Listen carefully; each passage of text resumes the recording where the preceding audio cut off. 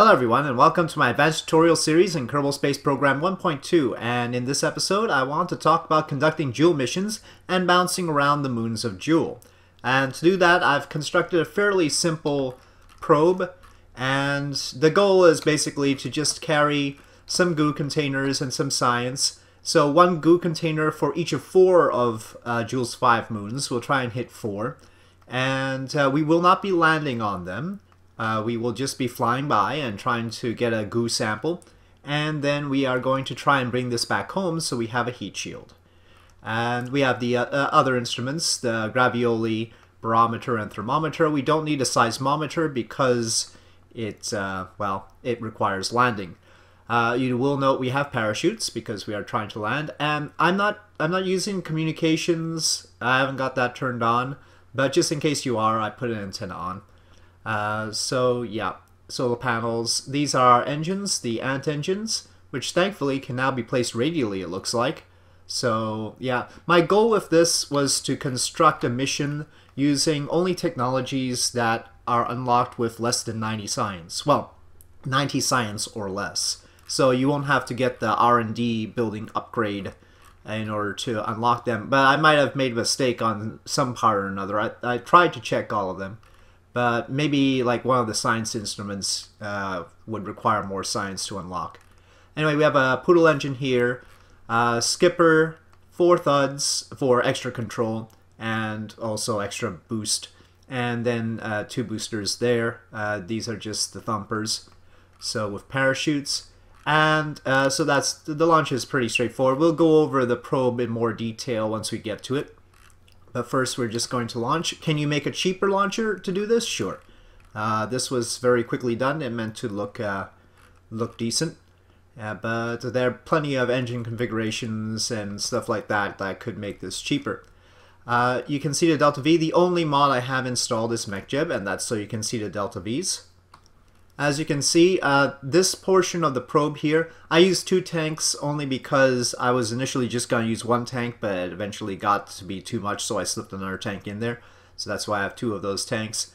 Uh, Mass-wise, it doesn't do any harm, but cost-wise, it does. Uh, so this part of the probe, which is going to attempt to return with the heat shield and all, is 1,620 meters per second, and that's, an, I think, enough to get back from Jool. So we're going to need to save that. Then the next stage here is the Terrier stage, and this Terrier stage is going to have 3,858. So it'll transfer us to Jool, and it'll handle all of our tra uh, transfers between the moons, is the goal there. We'll see how that works out for us and if it's enough. Everything else is just to get to orbit. Okay, so on that note, let's take it to the launch pad. Okay, I'm not going to have the MechJeb displays up right now. We'll periodically check on them, but it'll, it'll be pretty clear about where we're at as far as the Delta V's are concerned. Um, when you want to transfer to Jool is basically, I mean, a good estimate is when uh, this angle is 90 degrees. So if you draw a line from Kerbin to the Sun to Jool, this inner angle here is 90 degrees. Technically, the number is 96 degrees. So you'll note that my angle right now is just a little bit more than 90 degrees in order to hit Jool. Uh, Jool is very forgiving as far as the launch timing is concerned. Um, if you're anywhere from 85 to 90, uh, 100 degrees, uh, you know, it's a pretty wide window because Jool itself is really big and it has a huge sphere influence. So it will suck you in even if you're uh, pretty far off. Okay then, we don't have that much electric charge and we're not planning to transmit too much.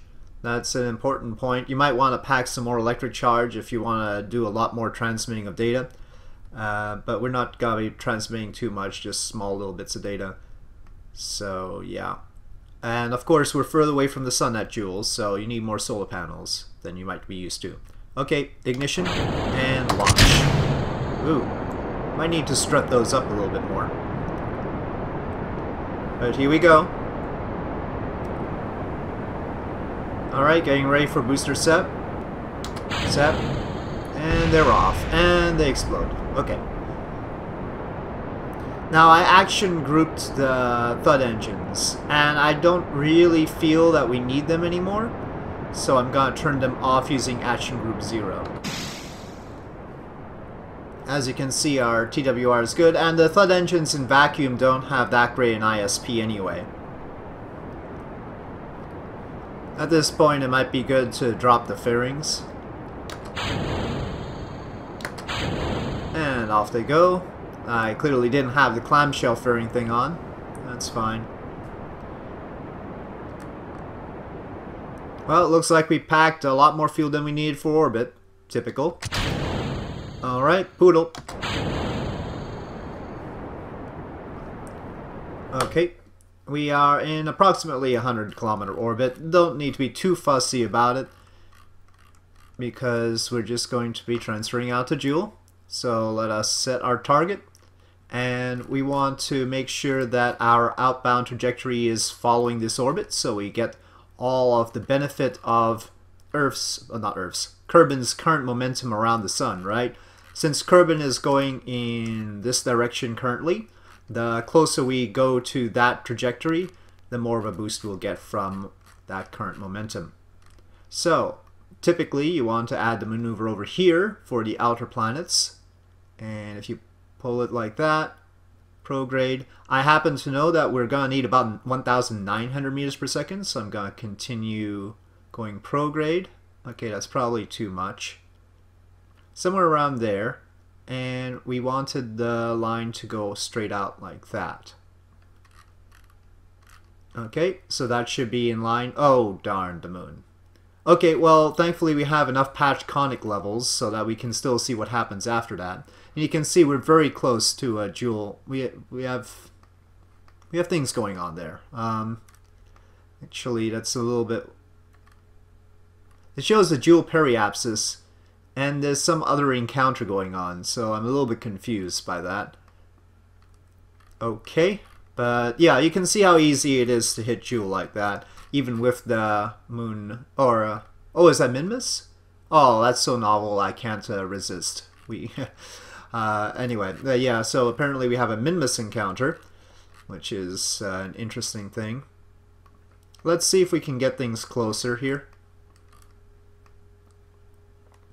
And again, not using any other... Uh, technically, if I wanted to, I could use MechJeb's maneuver node editor to make this a little bit uh, easier on me.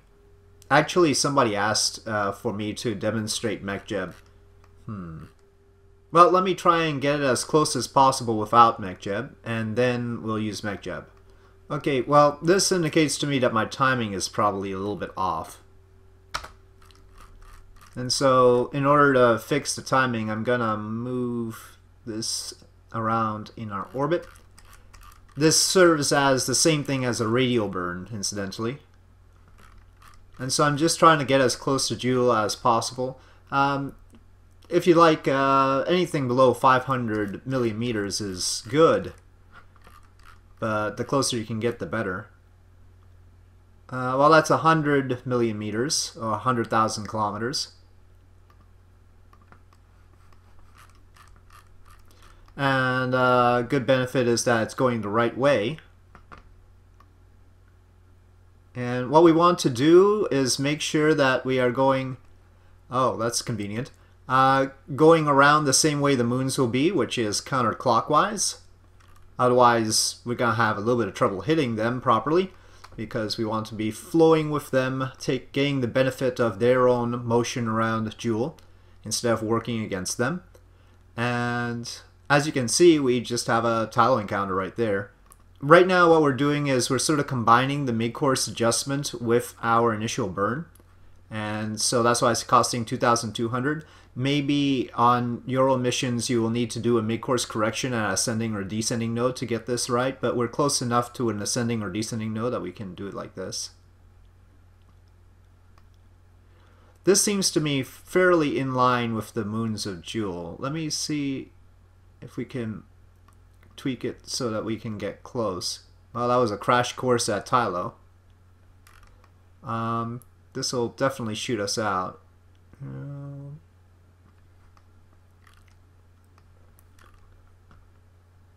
maybe we should accept that for now and deal with it. Yeah, let, us just accept that for now, I think. Our node is in two minutes, so we should probably just go ahead and do it. You have to make sure you have enough time to do the burn, and I'm probably rushing it here. Sorry for not putting any lights. I'm going to extend the solar panels before I forget. And I'm also going to extend our antenna. Okay, that is the end of that stage. Sep, and ignition. So now, now we're on the Terrier with its 60 kilonewtons and very good ISP in vacuum. Now probes do have a hibernation mode, so that is something you can make use of. We've got this hibernation off, hibernate in warp. I'm gonna set hibernate in warp to auto. So that automatically does that. As far as getting into orbit around Jool, what we would really like to do is probably hit Laythe first. And so after I do this burn, I'll try and bring it in to try and hit Laythe. But there are a number of ways of going about getting into orbit around Jool. Obviously, you can try and use your engine to do it. It doesn't take that much. Um, the other possibility is to use the atmosphere of Jool to slow down, aerobrake. But far better is to simply use the moons of Jool to give you a gravity assist into orbit. So again, in order to flatten your orbit to make sure that it's coming into Jool like this instead of you know, askew you might have to do a correction and a mid-course adjustment. We'll probably do a correction and a mid-course adjustment anyway, just to bring it in closer. Note that uh, Tylo is giving us quite a gravity assist. Our initial apoapsis is only 2 joule, but then Tylo boosts us to that apoapsis. So if you want to talk about gravity assists, there you go. So again, uh, to get to Jool, you'll want to pack, let's say 2,400 meters per second just in case.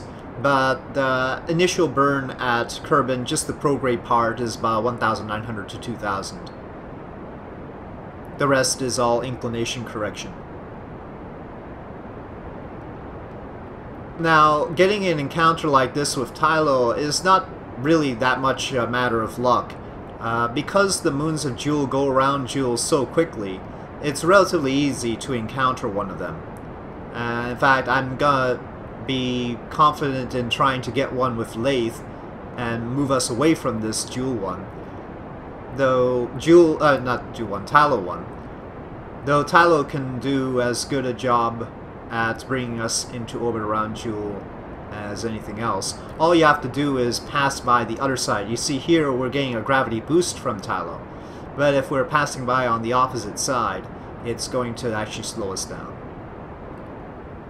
Oh, I really didn't talk about the tank arrangement. Uh, but once we get into light, I'll show you what I did with the tanks. It's it's uh you can actually radially attach these particular FLT100 fuel tanks as I've done here. It's no there's no trick to it. You just rotate them and they'll uh, snap on to whatever. And I just put four and then fuel lines. Could have used 2.5 meter tanks too, but uh, that's not quite so tight within the 2.5 meter fairing. This uh, allows it to fit a little bit better in the 2.5 meter fairing, but doesn't carry quite as much fuel as the 2.5 meter parts. Well, predictably, we don't appear to be very close to what we were planning on, huh? We're over here. Well, this is a good time to uh, show Maneuver Node Editor. Okay, so Maneuver Node Editor is one of many ways uh, you can use mods to make this a little bit easier instead of trying to pull these little guys, right? And uh, Precise Node will also help if you want to try that mod. But the idea is uh, just go one meter per second at a time and see what it does. Uh, here we see that it seems to be lowering our orbit. Okay. And if we do a radial, it doesn't seem to do that much. And oh, not radial, a normal.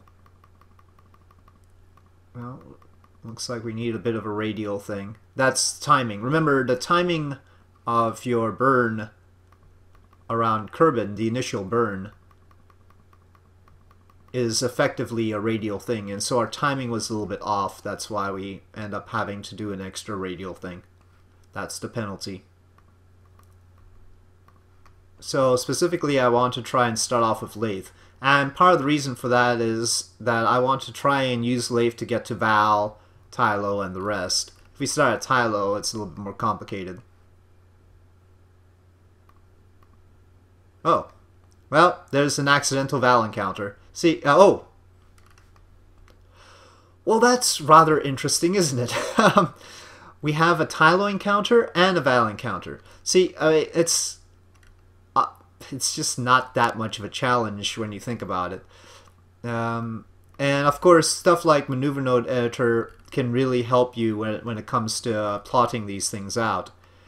Another thing you want to do is in your settings, make sure you patch conics uh, levels I think that's the option. Is set to something like uh, 5 through 7. Uh, uh, definitely not lower than 5. Okay, we get that. But let's let's let's go with my initial plan and try and hit Laythe instead.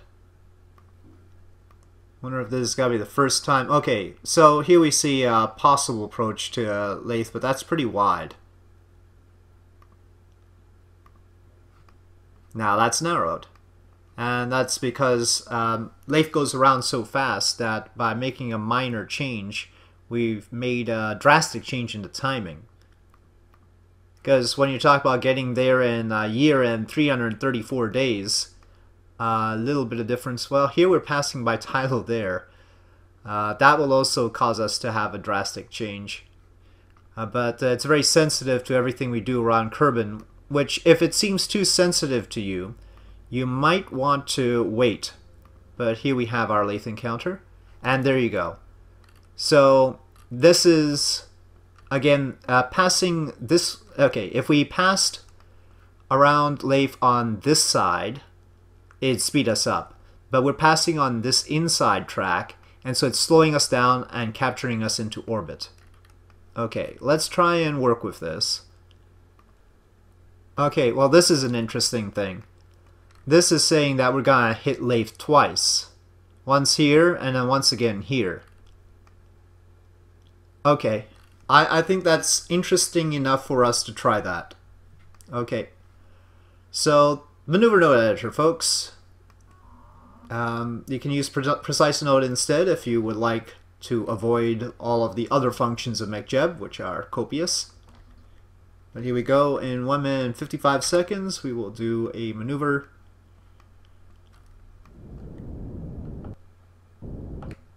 Alright, that's to the button. Uh, we only see a Laythe encounter here with no capture. But like I said, it's so sensitive, we should probably go into Jool Sphere Influence before doing anything else. So let's do that. Let us focus on ourselves and time warp to exit the Kerbin SOI. Now, if you're in career mode, uh, you might want to conduct other missions while on your way to Jool, because it's a long trip. Uh, in terms of Kerbin years, you're talking about many years. I mean, well, two years, let's say.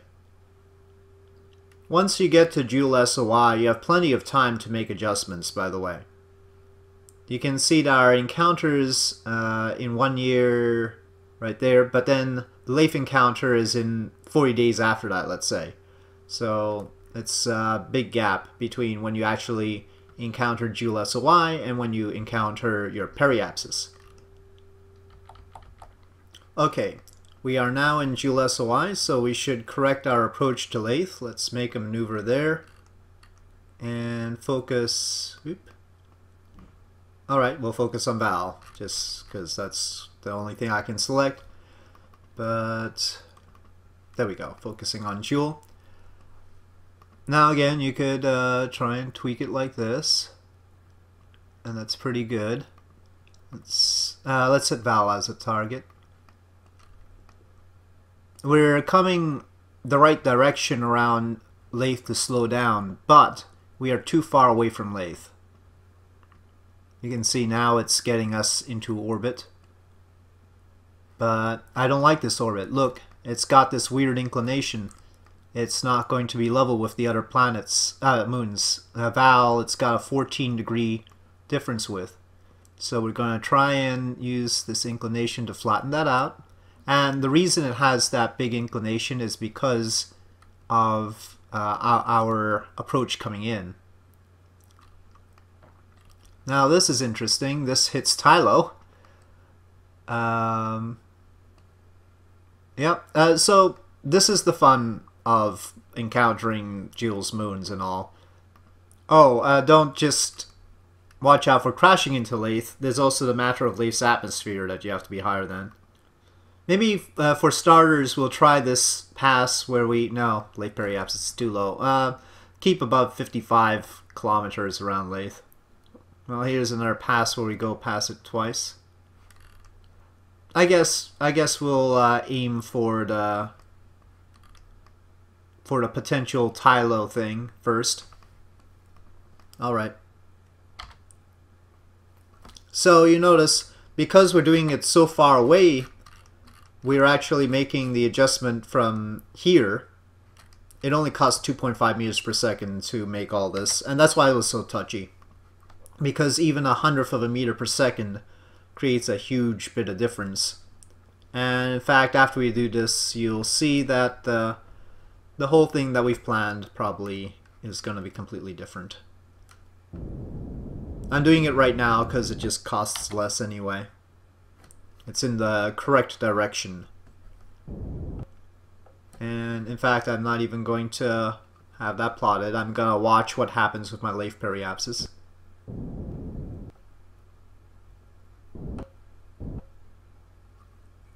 That's the Tylo encounter. Okay, um, well, well, maybe we'll try this first. Ooh. Tylo causing a crash course. I think I think we can get Tylo to help us if we get that orbit right.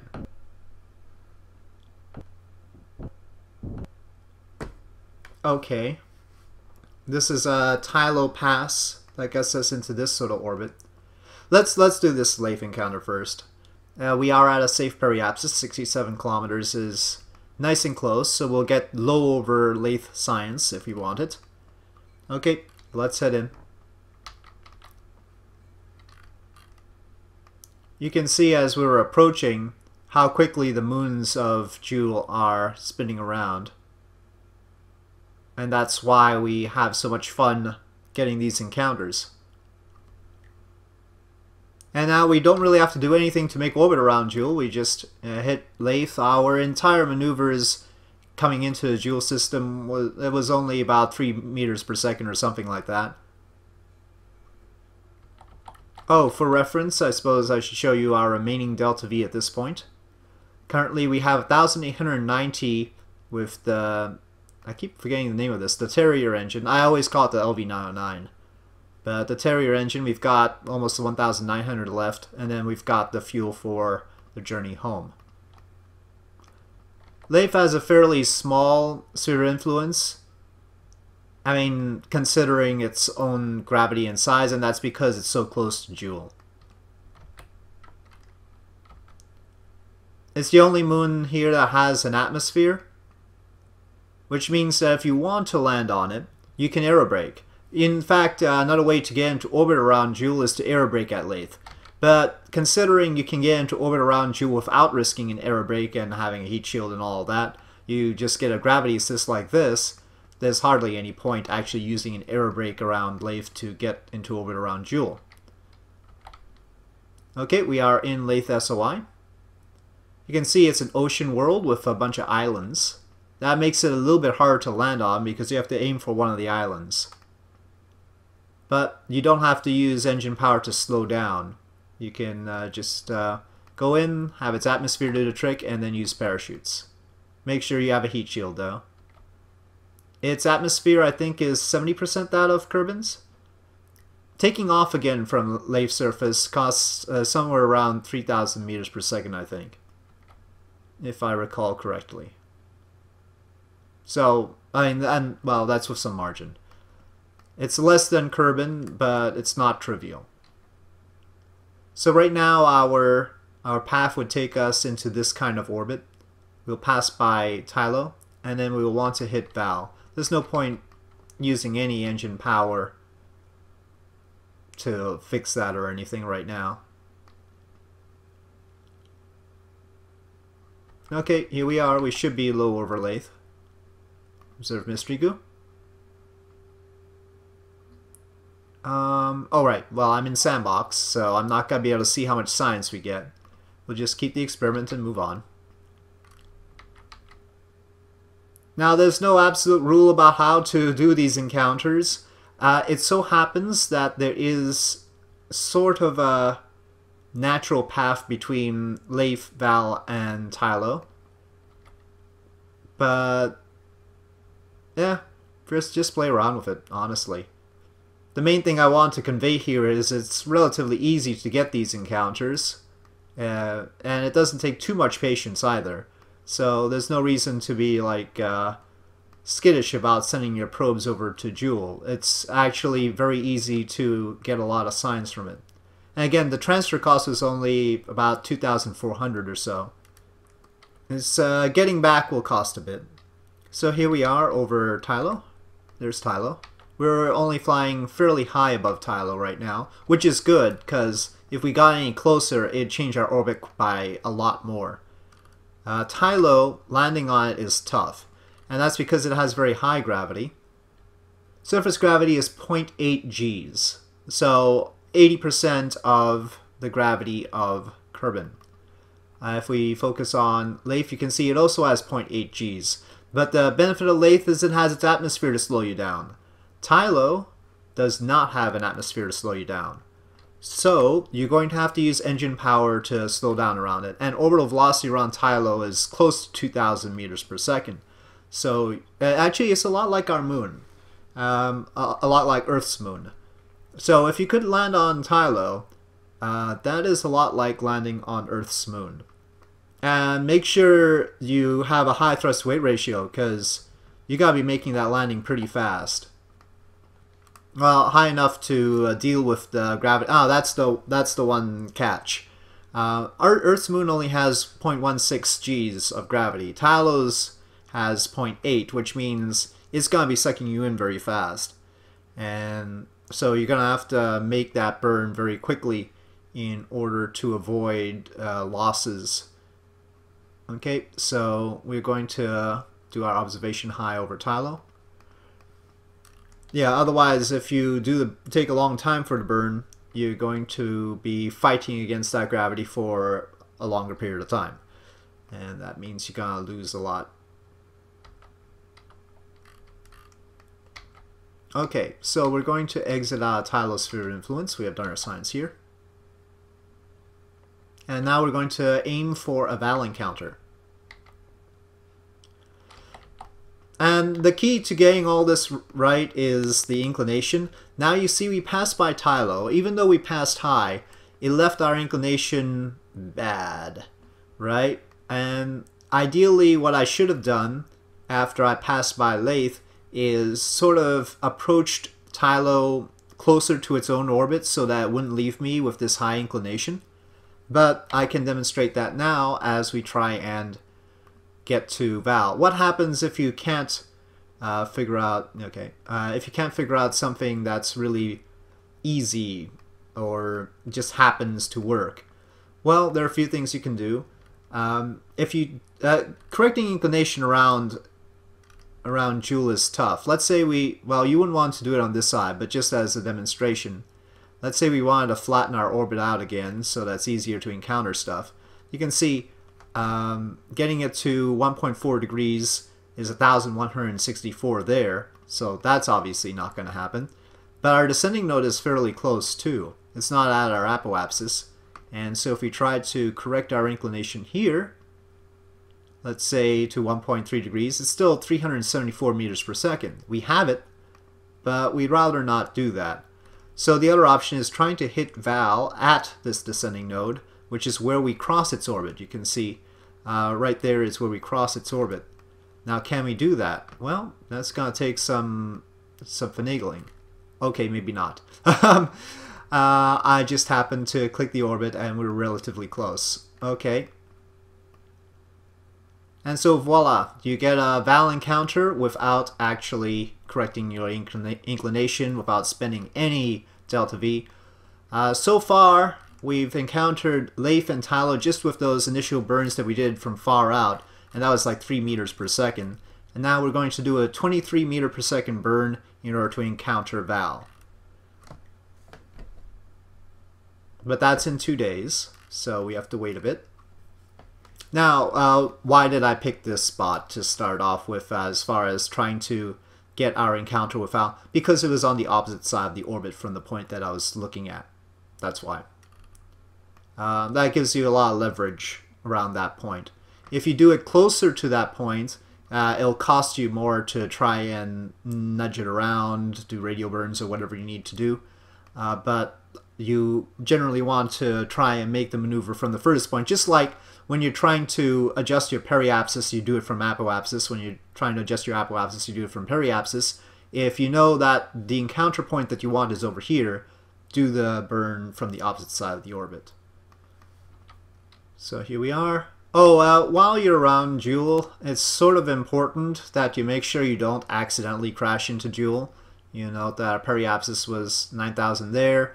This uh, Vall encounter that we're planning is going to bring it down to 3,000, which is still fine. But if we focus on Jool, make sure to note that its atmosphere height is 200 kilometers. And so you definitely don't want to go below that unless you're deliberately intending to go into the atmosphere of Jool which is fine. Just make sure you know you're doing that. Oh, uh, look, we have another uh, Tylo encounter after this. uh, if, if, if we want to do that. But I think we should try and get to either Bop or Pol next, because we haven't hit those. And those are sort of the more interesting ones. I uh, Maybe I'll demonstrate Pol, but go to Bop. Something like that. Okay, we've got higher Vall. I'll take it. We could probably get lower Vall too. But let's just pass by. Now, at this point, you might be wondering, do the moons of Jupiter work like this? And the answer is absolutely not. Um, the reason being that the the relative size of Laythe Vall and Tylo compared to Jool is much higher than the relative size of Jupiter's moons with respect to Jupiter. Jupiter is much, much bigger than its own moons. And so, and the velocity that you're approaching Jupiter at would be much higher uh, than the velocity with which we approach Jool. And so the moons of Jupiter can't slow you down into orbit. They don't have that kind of gravity. And, um, well, in general, bouncing around them is not so easy. It's, it's, it's not impossible or anything, but getting gravity assists from them is much more tricky. And uh, yeah, initially getting, using them to get into orbit around Jupiter is not a thing as far as I know. Now, could we eventually get a uh, boost from Tylo in order to get to Pol? Yeah, probably. Um, if you don't do that, this is what you get. And let me actually make the encounter. And you can see what I'm doing is trying to hit at the descending node again to uh, avoid any sort of inclination adjustment.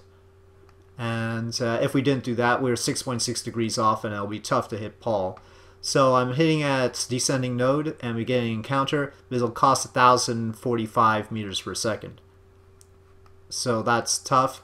If we did it after we passed by, let's say um, we try and take advantage of the Tylo encounter somehow.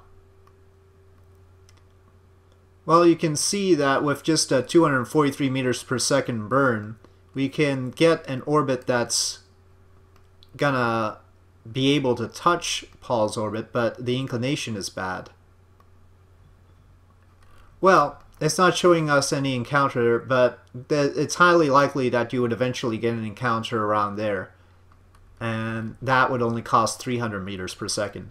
But this involves quite a complicated thing that's going on here we pass by Tylo once, high, and then we pass by Tylo again the second time. Thankfully, uh, neither of those passes brings us to a sub suborbital trajectory around Jool, so this is a safe thing to do, and it costs only 300 as opposed to 1000. Now, there's no easy way to guarantee an encounter with Pol by doing a slingshot around Tylo. I'm not entirely sure how to calculate that. There's probably a way to calculate all this stuff. I mean, the program calculates it all after all. But yeah, as far as figuring out ahead of time, uh, it might be better just to assume that you're going to have to spend the 1000 meters per second in order to make the transfer rather than get caught up in trying to figure it out on the fly, hoping that you're going to get this 300 meter per second one. But considering that we don't actually have an encounter there, maybe we should proceed with this uh, to see what it would take to actually get an encounter with Pol. Now, that will make it somewhat easier actually to deal with Bop because Bop is the unique one. Bop is the one that lies outside of the plane of everything else. So it it's probably the one that you want to hit last because you're going to need to mess up your inclination in order to get to Bop.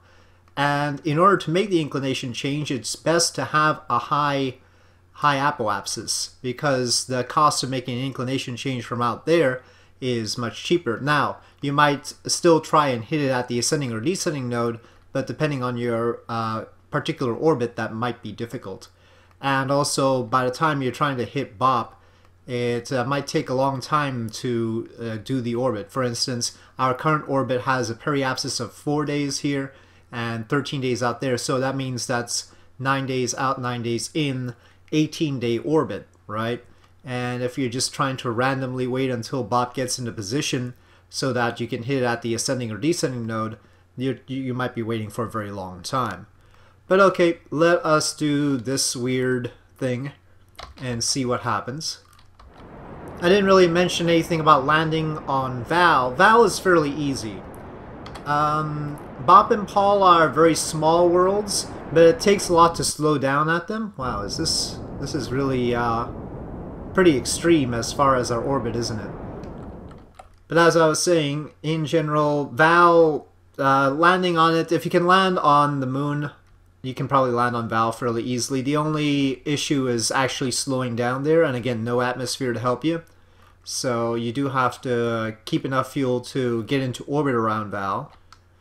And that might be considered the more tricky part of all this. Going from one world to another, one of these moons to another, is the easy part.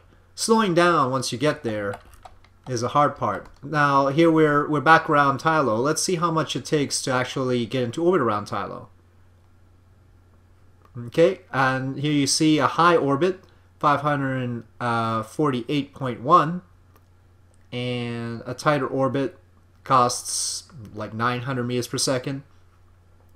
Yeah, so that's pretty expensive. And so, uh, thankfully, Laythe has an atmosphere, otherwise it'd be really tough. But, yeah, it depends on what orbit you have right now. The reason why Tylo is costing that much is because we've got this this sort of thing going on. If we were closer to the actual orbit of Tylo, it wouldn't cost as much. So keep that in mind when you're making your passes uh, near Vall or Laythe.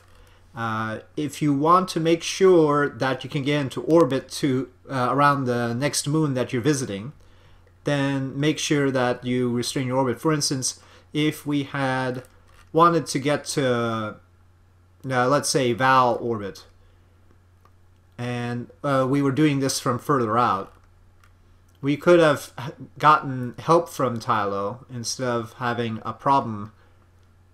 You see, now, uh, whoop, right there. Oh, hold on.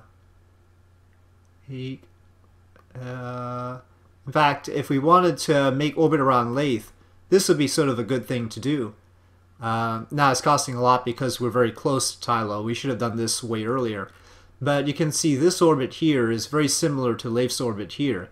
It'll only take a little bit. Oh heck, let's check. Since we've got all the patched conics and all.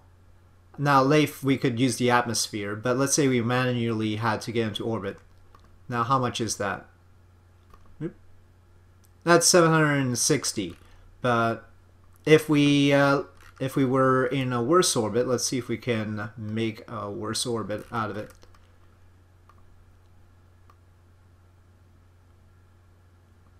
Okay, that's that's a worse orbit. And this is a higher pass around Laythe.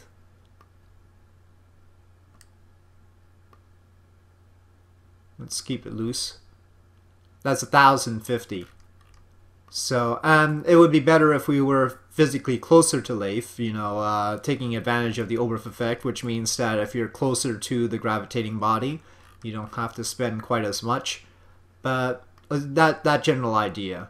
But we're not going to be doing that because we're not headed to Laythe or Vall. But you can keep that in mind. Make sure that uh, when you are plotting these maneuvers to get the gravity assist from one moon or another, that you can actually do a lot to match the target orbit. But, of course, there's a limit because you still have to have one point where you're actually touching the orbit of the moon that you're getting the assist from. Okay, so now it's a matter of timing. Right now, our closest approach is when we're here and Pol is there. So we're going to have to wait a little bit and hope that we don't accidentally encounter some more moons of Jool. Okay, now you see on the next go around, oh, that's a good one. On the next go around, we had a bigger gap there, but this is a very close gap. Um, well, that was just happenstance, frankly. It could have had us waiting a much longer time around here. So let's correct this. We're only a little bit off there, about two 2,000 kilometers. And the way you correct is, well, this is obviously the wrong direction. Oh, I saw it. There it is. Pol encounter.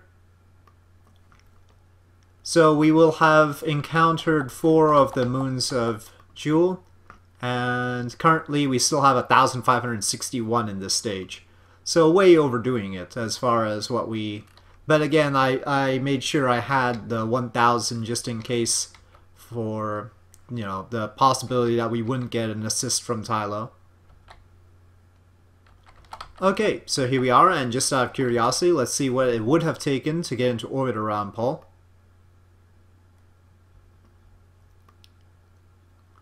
So for reference, that's an orbit. Uh, looks like 494 meters per second. So keep that in mind. You're really talking about some hefty payment in order to get into orbit around any of these things. It's not like the moon, right? The moon, uh, you just need about 200 to 300. Same with uh, Minmus. But because everything around here is quite hefty and Jool's influence is uh, so massive, you need a little bit more to match uh, the target orbit, which is what you're doing when you're making orbit.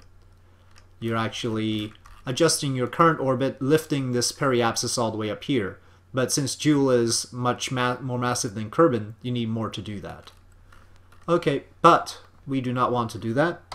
We might as well do a final goo container here.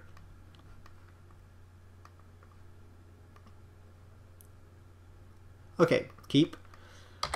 And let's talk about visiting Bop. So right now, our relative inclination to Bop is about 11 degrees. We cross it at those two points.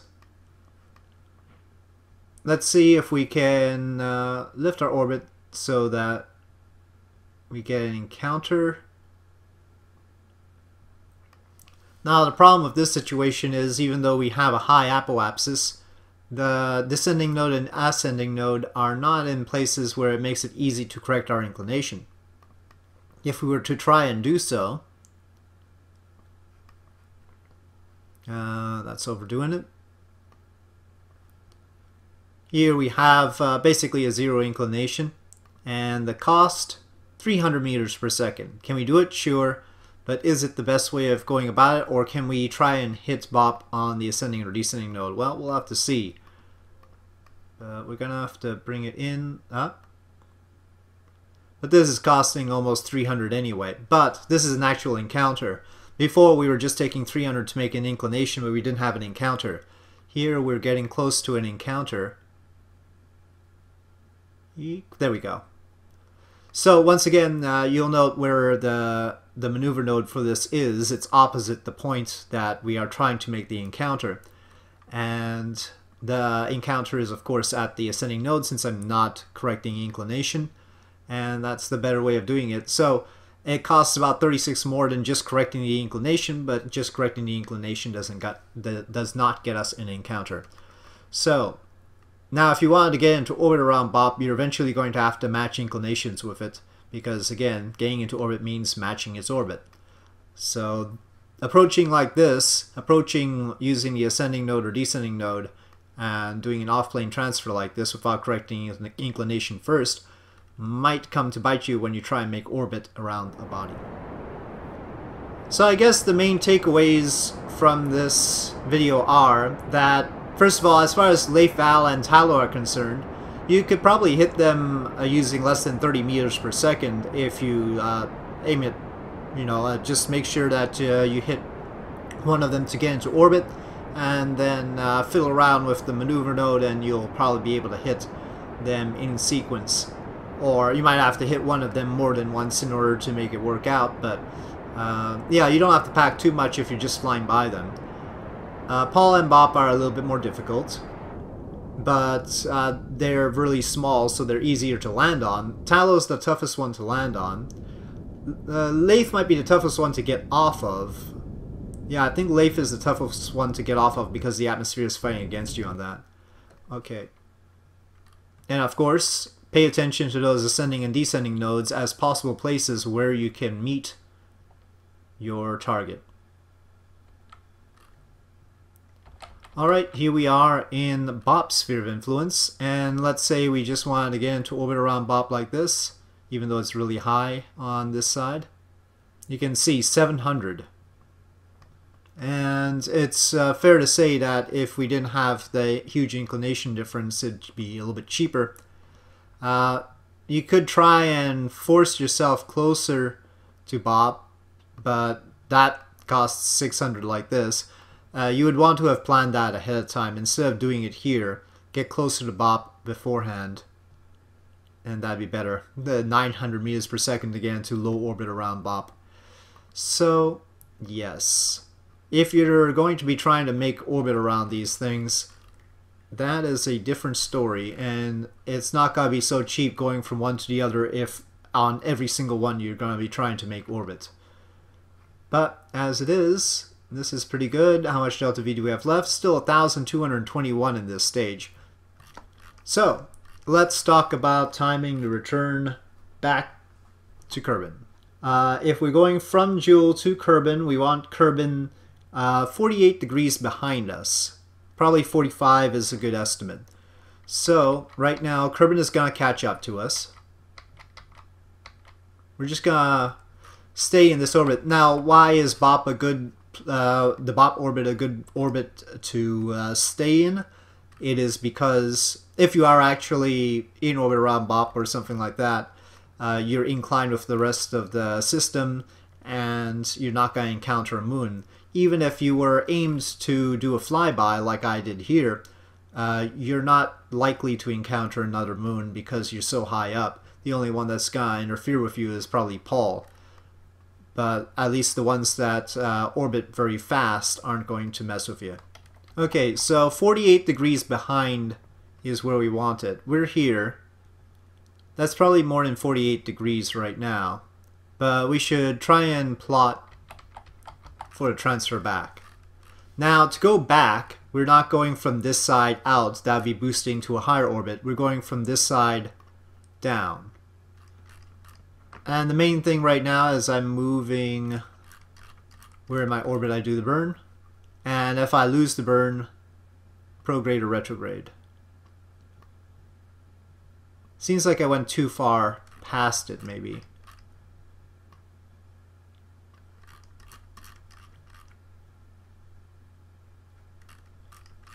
somewhere between those two. Keep in mind this is such a long orbit that even a tiny little movement here is a big difference. I think I'm gonna do the thing that I do, which is to try and meet at the descending node, because we've got a 2.6 degree difference right now. I'll just take any old encounter right now, I think. It's gonna be too touchy from all the way out at Jool. So let's do this one. This one is in 13 days. And so the return from Jool is gonna cost 922.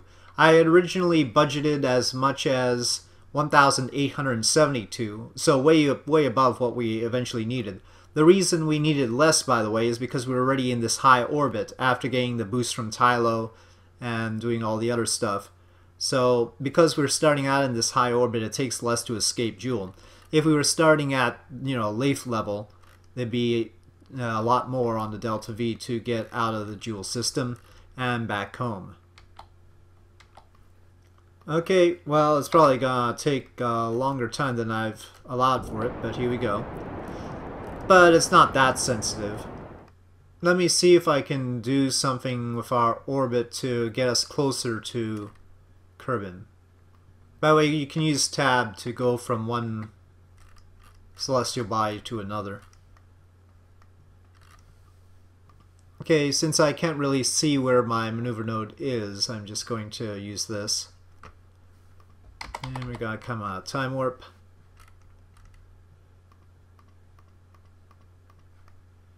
I just want to make sure that we get into Kerbin's atmosphere. You can see the further away you are, the more sensitive it is, so it's not very difficult to make this adjustment. What is difficult is making a fine adjustment. And even though I could theoretically make that fine adjustment with Maneuver Node Editor, there's no way I can burn to an accuracy of a hundredth of a meter per second. Now, I have not brought a probe back from Jool in 1.2, so I don't know exactly what kind of heat we can expect here.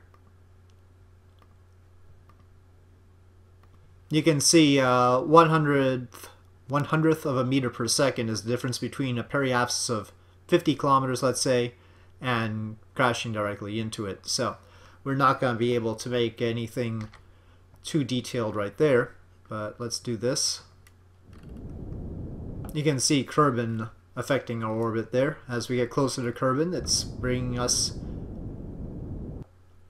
tighter in. That's good. That's what we would like, in fact.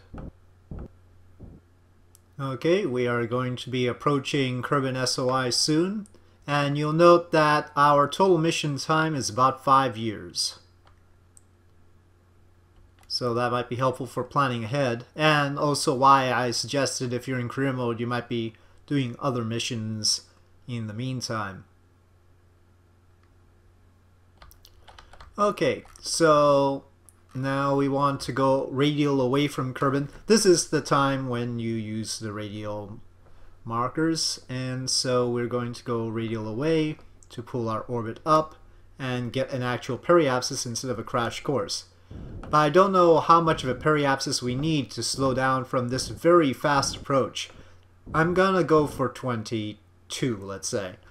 Now, we're going to be dumping this part, so this is going to end up being, well, exploding in the atmosphere, presumably.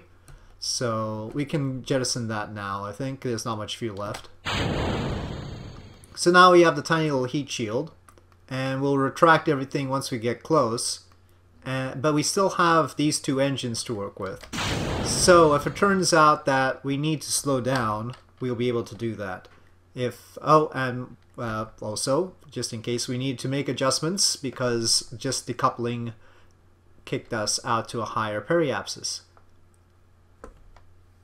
Okay, so this is what we've got, and let's see what survives.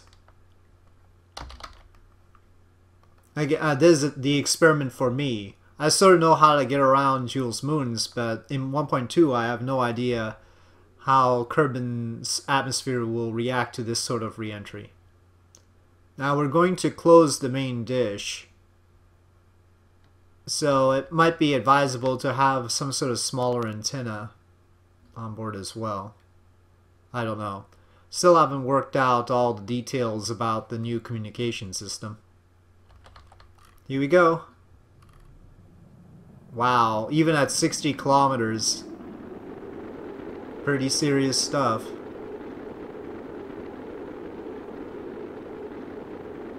Four thousand six hundred meters per second. Uh oh. Ah.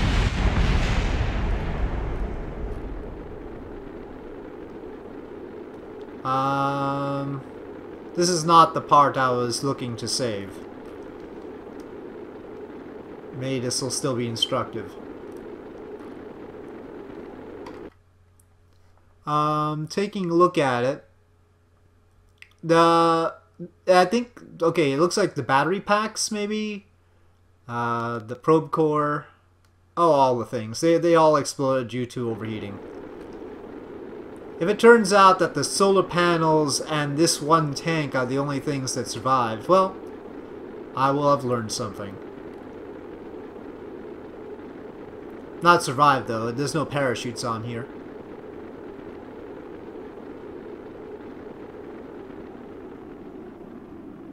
Yep. So, oddly, the stuff on, well, I guess not oddly, the stuff on top, I guess, was susceptible. But as long as you keep it flat to the heat shield, I guess it can survive. All the solar panels survived. Thought those were poking out a little bit. The engine nozzles survived. But the stuff on top I guess the heat sort of wrapped around or something. Okay. Well, the trouble with having a bigger heat shield, uh, well, what we're lacking is sort of a mid-sized heat shield, right? We've got the this 1.25 meter one and then the 2.5 meter one, which is huge by comparison. Oh well. Okay, well, this one's a bust. Unless uh, there's no other part. Nope, it's just it. And it's gonna crash into the ground. So I still have some work to do, but um, I demonstrated how to get around the moons of Jool and how easy it is in general. And so on that note, I'll say thank you for watching. I hope you enjoyed this video. If you did enjoy this video, please do press like. If you have any comments or suggestions, please leave them in the comment section below. And I'll see you next time.